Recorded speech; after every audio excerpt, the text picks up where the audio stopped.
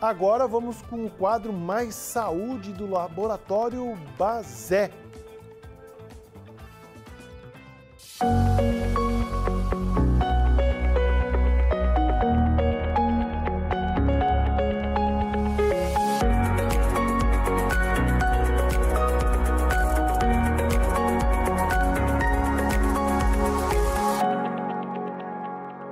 Olá pessoal, sou o Dr. Gabriel Bazé, aqui do Laboratório Bazé, e hoje nós estamos no Mais Saúde para falar um tema muito interessante sobre varizes. Você sabia que 38% da população do Brasil sofre de varizes, em sua grande maioria as mulheres, mas também os homens. E é por isso que hoje nós estamos aqui com o Dr. Aldo Passalacqua. Seja bem-vindo, doutor. Obrigado, eu que agradeço o convite, Bazé. Legal, doutor Aldo atende lá na clínica Neovasc e vai responder um pouquinho das nossas perguntas. Doutor, explica para o pessoal o que são as varizes. Você falou um, um, uma estatística interessante, Base, 38% da população brasileira, né? É, mas tem uma outra estatística mais impactante. Sim. Depois dos 70 anos, 70% da população aproximadamente vai ter varizes. Então é algo muito mais importante do que a gente imagina. Sim. As varizes elas, é uma doença que está associada com uma fraqueza da parede das veias, né? A veia é aquele sangue onde passa o sangue que está retornando ao coração. Então, a partir dessa fragilidade da camada, de algumas camadas do vaso, passa a haver uma dilatação, um enfraquecimento, então leva a uma dilatação e também com isso leva a uma diminuição do fluxo. O fluxo vai ficando lento, vai ficando leva uma sobrecarga daquelas regiões aonde o fluxo deveria estar retornando bem. Legal. Doutor, você falou um dado que realmente assusta um pouco. 70% da população na fase já da terceira idade vai desenvolver as varizes. Tem como prevenir? Com certeza, Bazé. É, na verdade, o foco do tratamento das varizes, muitos pacientes procuram é, querendo tratar varizes, achando que tratar varizes é eliminar aquelas veias que estão aparentes. E na verdade, esse, esse é, um, é só uma parte, é só um complemento do tratamento, onde o principal alvo nosso realmente é estabilizar a doença isso é fazer uma prevenção para que pelo menos não piore aqueles casos que já estão ativos uhum. e evitar que novos apareçam. Isso está relacionado principalmente com, com os hábitos de vida, com a alimentação, estilo de vida, né?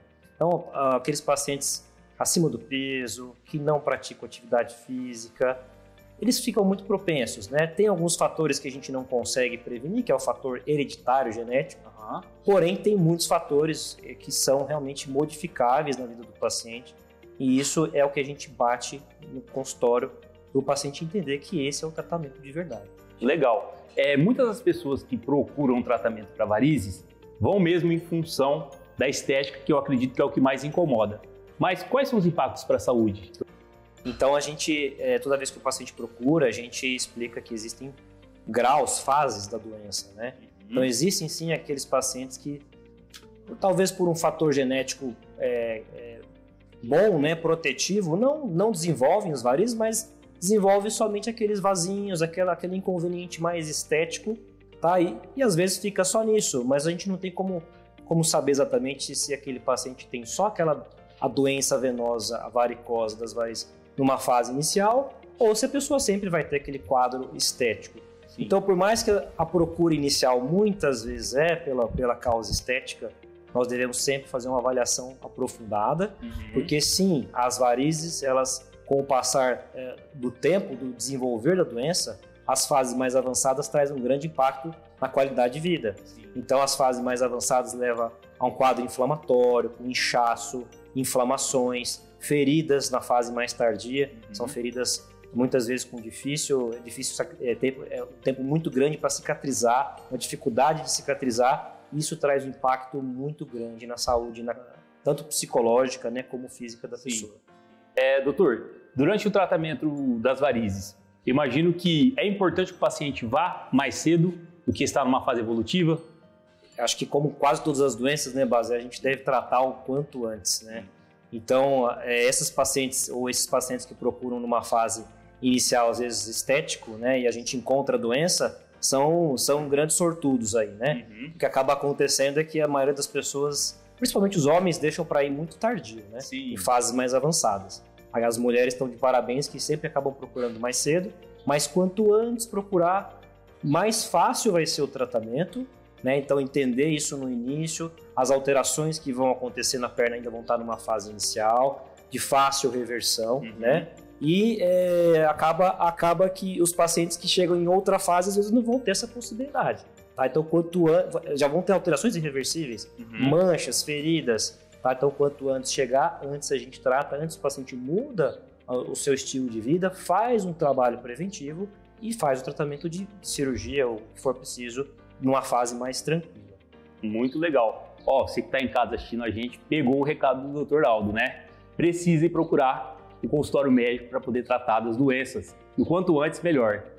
Novamente, o Dr. Aldo está lá na Neovasc, você pode procurar e agendar uma consulta. Doutor, qual que é o momento exato que o paciente que sofre de varizes, ele identifica que ele pode ir a uma consulta? É, então, tirando o paciente que tem esse quadro estético que procura por uma demanda não pela doença, uhum. né?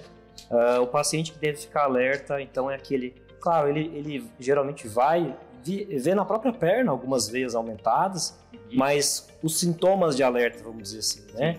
Então, inchaço muito fácil no fim do dia, uhum. é, pernas cansadas, câimbras com uma frequência muito alta, em geral abaixo do joelho. Então, são sintomas que mostram que está havendo um acúmulo de líquido por uma sobrecarga, uma dificuldade do retorno do sangue acontecer ao coração. Sim. Então, esses pacientes já devem estar entrando numa fase até intermediária da doença. Eles devem ficar assim, mais atentos e procurar.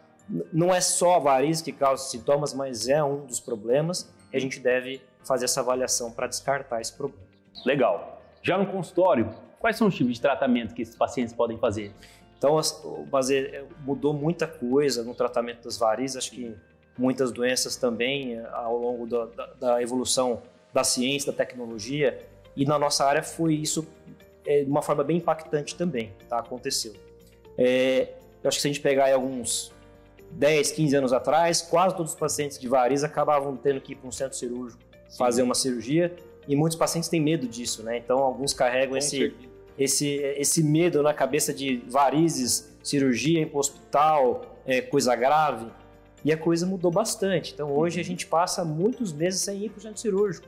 Isso quem nos proporcionou foi a evolução da, da medicina, da tecnologia, através de tratamentos pouco invasivos. A grande maioria hoje a gente é, consegue executar mesmo casos com grandes varizes, a gente executa no consultório, com anestesia local no máximo usando bastante tecnologia, principalmente o laser, que é um grande aliado nosso.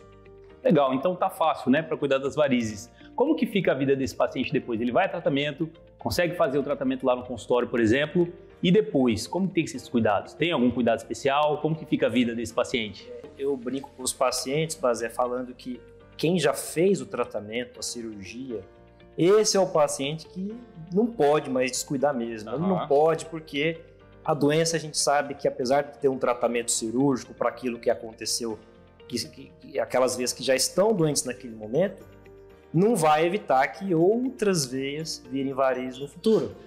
Então, se o paciente vai lá e faz um procedimento, um tratamento, uma intervenção para resolver esse problema, ele resolve naquele momento. Sim. Então, se dali para frente ele não entrar na parte preventiva, ele vai perder esse resultado. Então ele é o paciente que mais tem que fazer a prevenção. Esse é o meu ponto de vista e eu sempre respondo dessa forma para os pacientes. Sim, legal. Ele vai estar sempre cuidando disso, né? É, doutor, depois de feito todo o tratamento, depois de feito todo esse cuidado, qual a importância do acompanhamento médico na vida desse paciente? Esse paciente dificilmente ele vai ter alta, ele vai ficar sem ter um acompanhamento de um vascular. Né? Uma vez identificado que a pessoa é portadora de varizes, como a gente falou, não é uma doença que tem cura. Sim. Então, é, o, e o tratamento, ele, ele é um tratamento que muitos pacientes às vezes começam fazendo, que é mudança de estilo de vida.